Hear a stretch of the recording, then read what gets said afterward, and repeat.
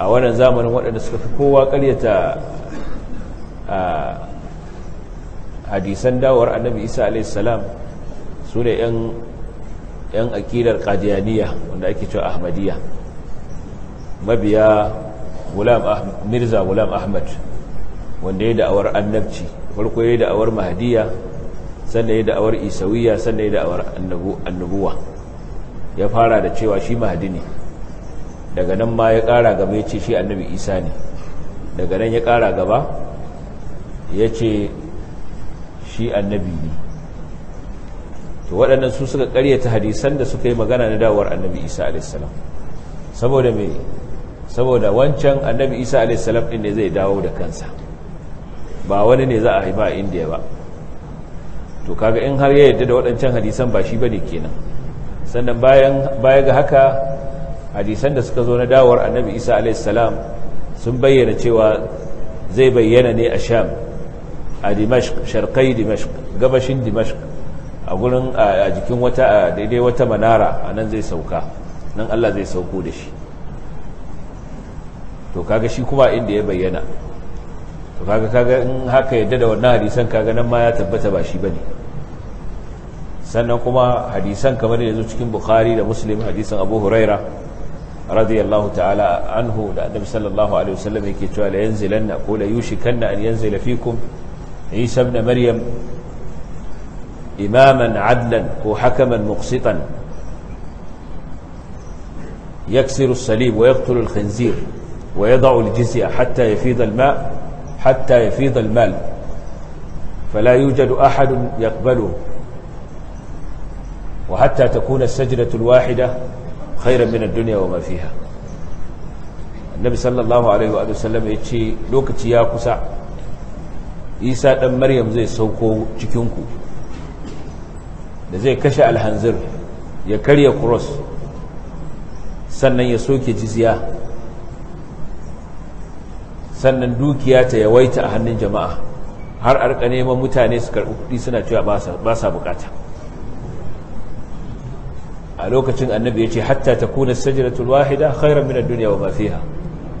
Har ya zama a lokacin sujjada ɗaya da mutum zai yi tafi duniya da abin da ke cikin ta wato saboda yadda mutane za a samu duniya zai zama na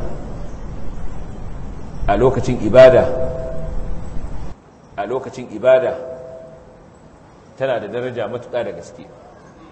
Annabi sallallahu alaihi wasallam ya faɗa mana cewa zai sauka kuma zai yi sallah a bayan ɗaya daga cikinmu wato ɗaya daga cikin wannan al'umma shine al-mahdi. Al-mahdi al-muntazar muhammad ibn abdullahi al-mahdi. Ba wannan mahdi na na yin shi'a ba wanda suka ce yana nan a ɓoye tun yana jariri ya shiga rami yau sama da shekara dubu yana ɓoye ya ke fito. To wanda annabi ya ba mu labarin bayyanarsa wanda shi ma masu waccan aƙida suna ƙaryatawa. Saboda duka siffofin da aka annabi ya bayyana ba su tabbata a tare da shi wannan mirza gulam ahmad ba. Sannan kamar yadda kuka ji a cikin wani hadisi da na karanta hadisi ne na abu huraira muttafaqun alai yana cikin sahih bukhari da muslim. Ya ce yaksiru salib zai karya cross.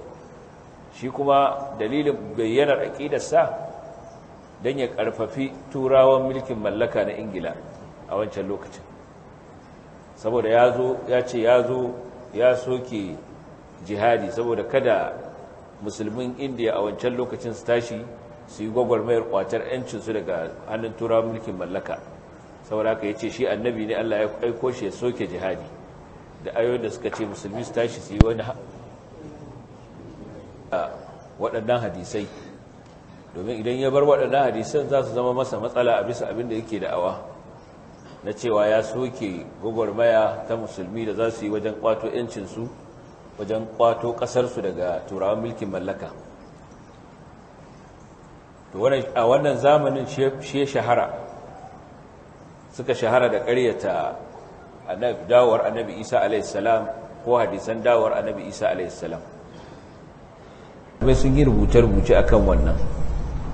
Shi ya sa malamai na farko suka yi ta bayani cewa alkur'ani ya tabbatar da saukar annabi isa alaihissalam tunda ya tabbatar da daga shi zuwa sama wa ma qataluhu wa ma salabuhu walakin shubbiha lahum wa innal ladhina ikhtalafu fihi la fi shakkin minhu ma lahum bihi min ilmin illa ittiba'a adh-dhann wa ma qataluhu yaqina bal rafa'ahu Allah ilayhi wa kana Allah azizan hakima ubangiji subhanahu wata'ala ce yahudawa basu kashe shi ba ba su gicciye shi ba kamar yadda suke da'awa. Sai dai waɗanda ba su da ilimi. Inna waɗanda ba su da ilimi suna bin ba abin da suke bi sai zato. Allah ce wa ma qataluhu yaqina. Bisa yaqini bisa tabbas ba su kashe shi ba.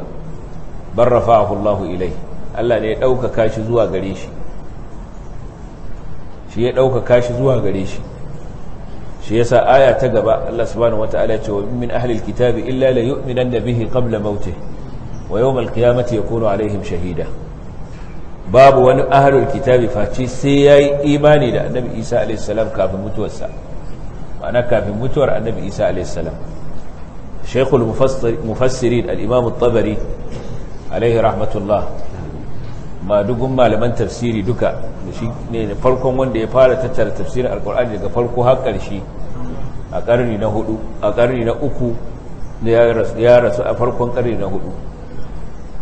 Da ya zo wannan aya ya ce duka zamiran guda biyu wa in min ahlil kitabi illa la yu'minan da bihi din yana koma ga annabi isa qabla mautihi shi ma yana koma ga annabi isa.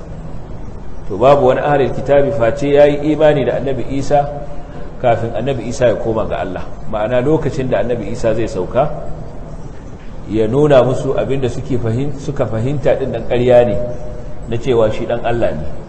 Shi bawan Allah ne ba Allah ba ne sannan baya ga haka su kuma yahudawa da suke cewa sun kashe shi sun gicciye shi. Su ma tabbata cewa wannan abin da suke zato ba gaskiya ba ne.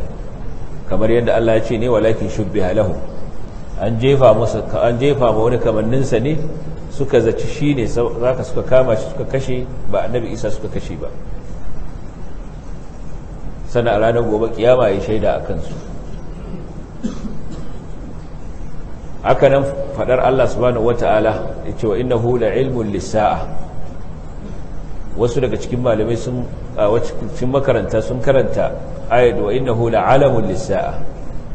Cewa annabi Isa alama ce ta alkiyama sannan ga hadisai masu dimbin yawa da aka ruwaito hadisin Abu Huraira hadisin Abdullah ibn Mas'ud hadisin Usman ibn Abi al-As As hadisin Hudhaifa ibn Usayd hadisin mujamma ibn haritha ko ibn jariya da hadisai da dama wanda duk sun zo don su tabbatar da wannan shaukani alaihi rahmatullah